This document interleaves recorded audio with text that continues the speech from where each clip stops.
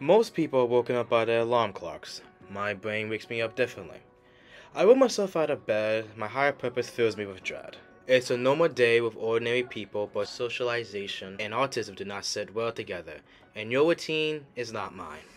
I keep a straight face in the school hallways, a contrast to the smiling faces around me. A friend approaches to ask about my weekend. The part of my brain that witnesses and comments on every moment and files it away meticulously is there, planting seeds of self doubt, recording every detail. I feel confused and I slightly argue back. Sensory overload ensues. I am consumed by the inputs of everyone's eyes on me. Their eyes. They seem to be glued on me. I fight back Energy starts revving like an engine in my body. Shut up. Stop looking at me. I don't know. I don't know.